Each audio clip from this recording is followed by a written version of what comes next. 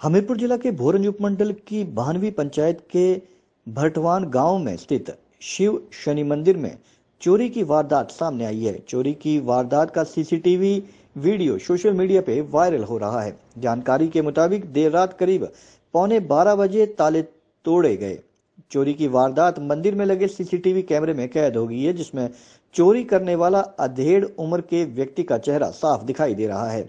अधेड़ व्यक्ति रात करीब 11 बजे मंदिर में घुसा और करीब 20 मिनट मंदिर परिसर में घूमता रहा। उसके बाद गले तोड़ने में उसने हाथ आजमाया। गले तोड़ने की आवाज़ बाहर ना जाए, इसके चलते गले के ताले पर कपड़ा बांधकर करीब आधे घंटे की मशक्कत के बाद ताला तोड़ा। करीब 16 बार गले से हाथ भरकर कैश भी निकाला है।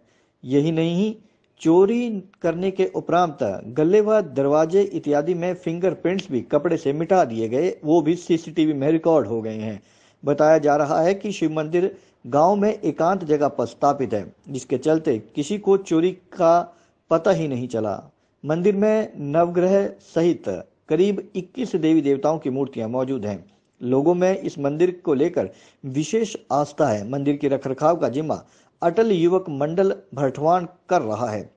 युवक मंडल प्रधान अच्युत शर्मा का कहना है कि उन्हें अगले दिन सुबह चोरी की घटना का पता चला तो उन्होंने तुरंत पुलिस को सूचना दी। पुलिस ने भी मौके पर पहुंचकर जाँच पड़ताल करके सीसीटीवी की फुटेज अपने साथ ले गई हैं, लेकिन आज तक चोर हाथ में नहीं आया है। जाहू पुलिस चौकी प्रभारी राजीव लखनपाल ने बताया कि शिकायत मिलने के बाद पुलिस मामले की जाँच में जुट चुकी है।